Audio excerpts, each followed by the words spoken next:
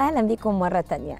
هيئة الأرصاد بتتوقع إن النهارده الطقس هيكون مائل للبرودة صباحا مائل للدفء نهارا على القاهرة الكبرى والوجه البحري وشمال الصعيد. معتدل على السواحل الشمالية والحرارة على جنوب سيناء وجنوب البلاد. وبالليل الجو هيكون بارد على شمال البلاد حتى القاهرة الكبرى مائل البرودة على جنوب البلاد. النهارده في نشاط للرياح على مناطق من القاهرة الكبرى والوجه البحري والسواحل الشمالية ومدن القناة ووسط سيناء وشمال وجنوب الصعيد. كمان في فرص أمطار خفيفة قد تكون متوسطة ورعدية أحيانا على مناطق متفرقة على فترات متقطعة. أمطار على السواحل الشمالية الغربية وشمال الوجه البحري. كمان أمطار خفيفة على مناطق من سلاسل البحر الأحمر هتكون متوسطة ورعدية وقد تغرز قد تغزر أحيانا وأمطار كمان خفيفة على مناطق من شمال. التفاصيل عن حالة الطقس النهارده. بتنضم لنا الدكتوره منار غانم عضو المركز الإعلامي بهيئة الأرصاد الجوية. صباح الخير دكتورة منار.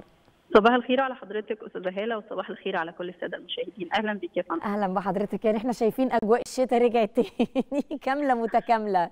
بالمطر بالفعل. بالبرد بالشوارع بكل حاجة. طيب يعني هل هنكمل ال- النهارده لحد آخر اليوم برضو مطر ولا آه، أخبار الطقس إيه النهارده؟ طمنينا.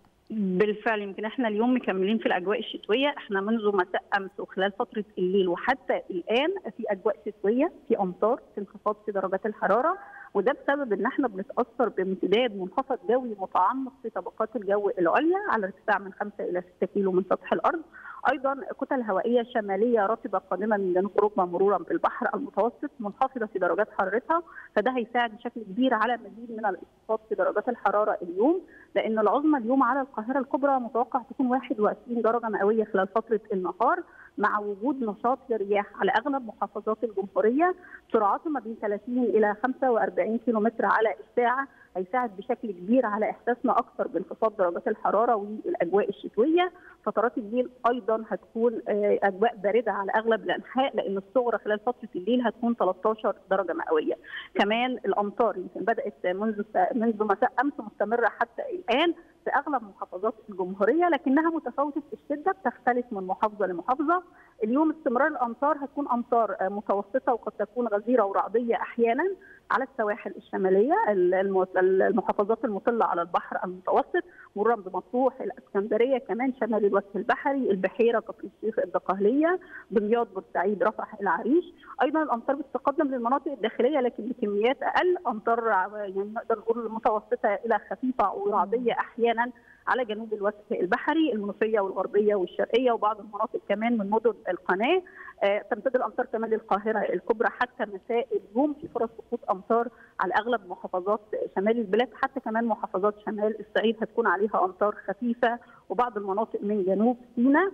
آه، فالأجواء اليوم هتكون أجواء شتوية فيها كل العناصر الجوية. من غدا إن شاء الله هيكون في استمرار لانخفاض درجات الحرارة لكن فرص الأمطار هتبدأ تقل تبدأ تتلاشى من على المناطق الداخليه وتنحصر فقط على السواحل الشمالية للبلاد لكن هيكون في استمرار لانخفاض درجات الحرارة. لكن التحسن اللي هنبدأ نشوفه في الأجواء هيكون من يوم الجمعة القادمة أيوة. ان شاء الله. أيوه. أنا مستنية دي بس. من يوم الجمعة إن شاء, إن شاء الله. الجمعة هيبدأ يأثر علينا مرتفع جوي في طبقات الجو العليا فتبدأ درجات الحرارة تتجه نحو الارتفاع فنبدأ نحس بالارتفاعات الطفيفة والتدريجية في درجات الحرارة. هيكون في زيادة طبعا لفترات سطوع اشعه الشمس وتعود الظاهرة الجوية المؤثرة معانا. هو تكون شبونه مائية فترة الصباح الباكر ساعات الليل المتأخر على اغلب الطرق الزراعية والسريعة والقريبة من المسطحات المائية.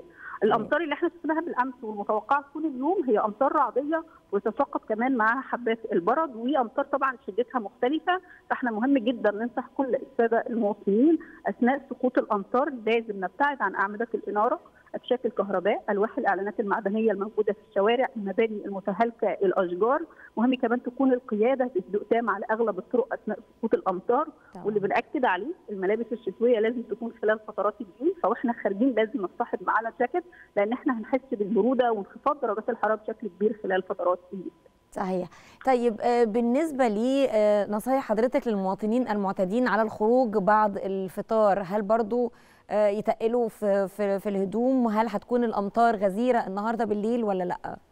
هو إحنا طبعا تدريجيا مع دخول فترة المساء تبدا كميات الأمطار تقل وتنحصر فقط في بعض المناطق من شرق البلاد لأن المنخفض الجوي اللي بيأثر عليها هيبدأ يتحرك في اتجاه بلاد الشام فتبدأ الأمطار كميتها تقل خلال فترة المساء لكن هيكون في نشاط للرياح زي ما قلنا سرعته ما بين 30 ل 45 كم على الساعة وفي طبعا كتل هوائيه منخفضة في درجات حرارتها. فهنحس بالبرودة وهنحس بالأجواء الشتوية جدا خلال فترات المساء. فرص الأمطار هتقل آه لكن إحساسنا بالبرودة هيكون موجود. فعشان كده لو هنخرج بعد الفطار وإحنا خارجين لازم نرتدي ملابس شتوية. إحنا بنقول فترات النهار في بعض الناس بدأت تخفف فترة النهار فإحنا ما فيش مشكلة فترة النهار مع وجود بعض أشعة الشمس ممكن نحس معاها بالأجواء المائلة للدفء لكن فترات الليل بنأكد لازم نرتدي الملابس الشتوية آه وناخد بالنا من سقوط الامطار في المناطق الشرقية يعني في رفح والعريش بعض المناطق من شمال وسط سيناء لأن المنخفض الجوي هيكون اتحرك اتجاه بلاد الشام مش هيأثر بشكل كبير على جمهورية مصر العربية بإذن الله مم. ناخد بالنا من تكون الشبورة المائية فترة الصباح الباكر وساعات الليل المتأخر على أغلب الطرق لأن ممكن الشبورة المائية طبعا تؤدي لانخفاض الرؤية الأفقية خاصة مع تواصل عوامل الرطوبة بعد سقوط الامطار. طيب سؤال بقى مهم جدا دلوقتي الناس بدأت تستعد لاجازه العيد إن شاء الله عيد الفطر بإذن الله. كل سنة وحضراتكم طيبين. ففي ناس بدأت تنزل تشتري هدوم العيد في ناس بدأت تحضر للأجازة. آه يمكن اللي بتاخر شوية بس عايزين نطمن برضو آه وضع الطقس هيكون إيه وقت العيد وهل هتستمر معانا آه حالة عدم الاستقرار في الطقس أيضا في أيام عيد آه الفطر المبارك؟ طبعا كل سنة وحضراتكم طيبين وبخير وكل المقيمين بخير يا رب. هو إحنا بنقول تدريجيا إن شاء الله من يوم الجمعة تبدأ درجات الحرارة تتجه نحو الارتفاع.